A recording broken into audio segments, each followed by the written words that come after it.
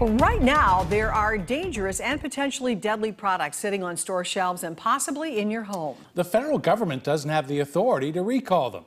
It's an issue CBS 4 consumer investigator Angela Brauer has been investigating for months. Started digging into the data when Congress introduced the Sunshine and Product Safety Act last year. There are products out there right now that people at the Consumer Product Safety Commission, who are tasked with protecting us and our children, know are unsafe and yet have not been able to tell the public about it.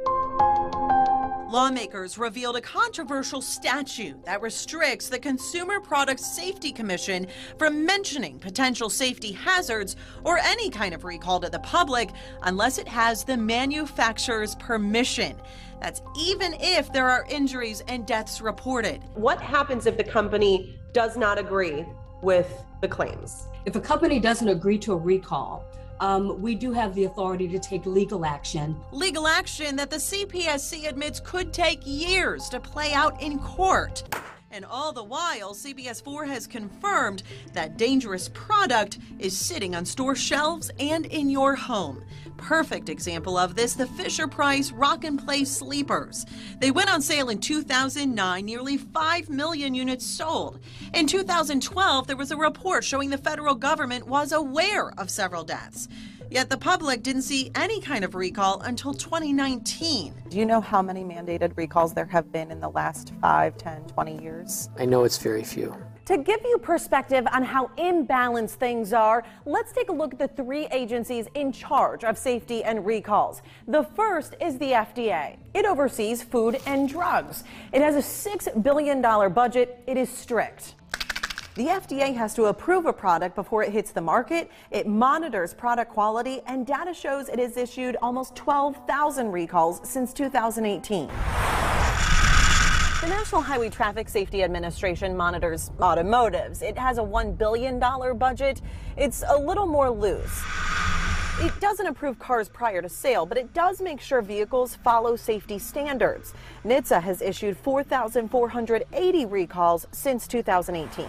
Then you have the Consumer Product Safety Commission. It only gets $135 million a year, and it oversees everything else from air conditioning units to tools, your children's toys, and clothing. It has only issued 1,125 recalls in five years but that was because the companies agreed to take action.